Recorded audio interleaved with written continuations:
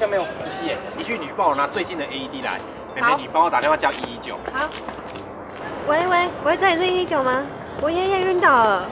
对对对，他们在，他在他在那个同医院的篮球场。嗯嗯，对，赶麻烦赶快来，谢谢。哦，一去，你先赶快把我装上去。好。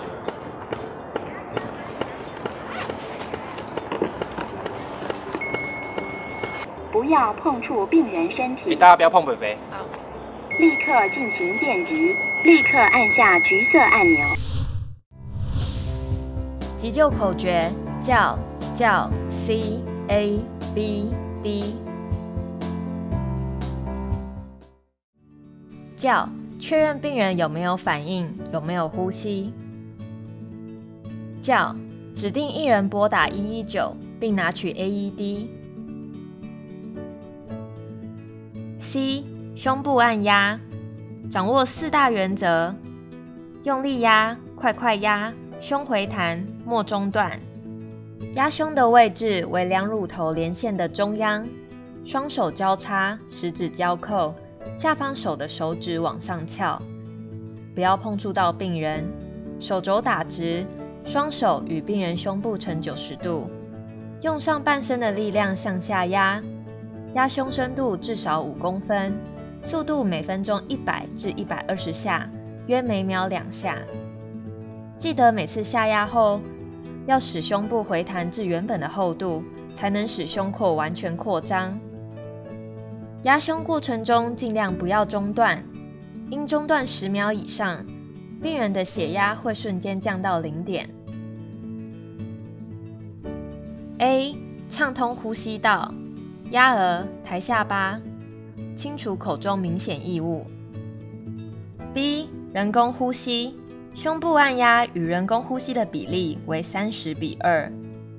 压三十下后吹两口气，捏紧鼻孔，将病人的嘴巴完全罩住。先吹一口气，持续一秒钟，并看病人胸部有没有起伏。再紧接着吹入第二口气，吹气步骤相同。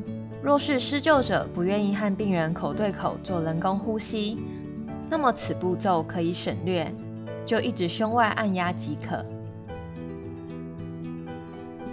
D. 使用 AED 自动体外心脏去颤器的步骤：开、贴、插、电。打开 AED，系统会以中文语音引导你接下来的步骤。